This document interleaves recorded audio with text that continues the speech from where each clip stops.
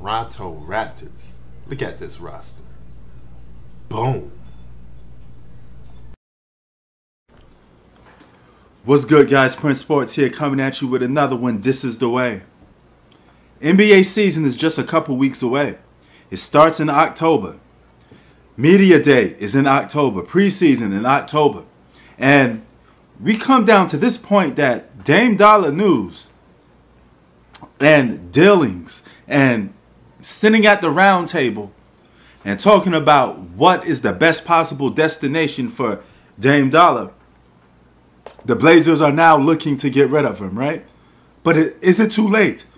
Because you had your chance to get rid of Dame all off season long.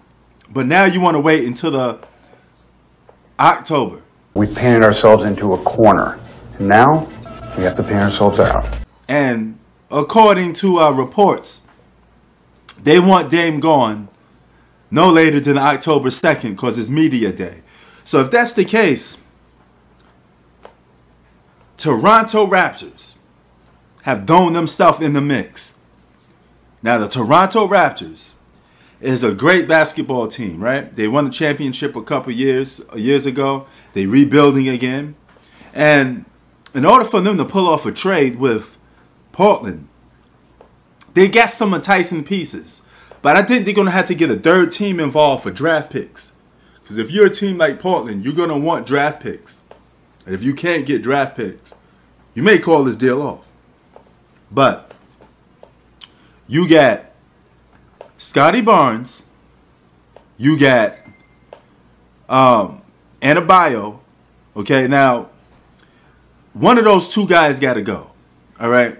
If you look at championship contending teams, they literally don't win with young players. So the most easiest thing to do is get rid of Scottie Barnes. But Toronto is so held up. They so you know, infatuated with this kid. They want to keep him. They think he's going to develop into something good. But you got um Adebayo right there. He he's a good defensive basketball player, right? And they may need that because he could cover up Dame's flaws. But the problem is, if you trade for him, Portland will only keep him for one year. Then he could walk for nothing. So he cannot leave. By default, he has to stay on the Toronto Raptors. And he could cause them another problem because if Toronto Raptors don't give him the bag, he could walk while Dame is already on that team. That's problematic within itself. So Pascal has to stay. But Scottie Barnes and OG Adebayo, one of those two got to leave. You can't get rid of both of them. You got to keep at least one. And Gary Trent Jr. down the bottom of the list, he got to go too. Okay, there's a lot of problematic situations to Dame going on to Toronto. But let's just say he's committed to going to Toronto. Let's just say either or, Scottie or um, OG Adebayo is committed to going to staying on the Raptors. My best bet is entice it a little bit. Gary Trent Jr. got to go. So you get him, then you get Scottie Barnes, then you have to try to get a third team involved, which makes the trade even harder for some draft picks. Now they do got a protected draft pick, right? But they're gonna have to tank to even make that draft pick even worth it. Okay? So you got Adebayo, Pascal Siakam, Dame Dollar, and Poeltl. Those four are a good starting pieces to help you go to the NBA Finals. Now, if you put Dame on Toronto, they're automatically a playoff contending team. Are they a title contending team is the question, and most likely you may say no. But if the Miami Heat can make it to the NBA Finals, then maybe, just maybe, the Toronto Raptors could do that if they clicking on all cylinders. Because Pascal Siakam be the best player that Dame Dollar has ever played with. Then you combine him with uh, uh, Adebayo or Scottie Barnes, whatever one stays. Boom, you got yourself a good a good uh, trio right there, right? Now, if you do keep Barnes, he's so cheap He's under contract.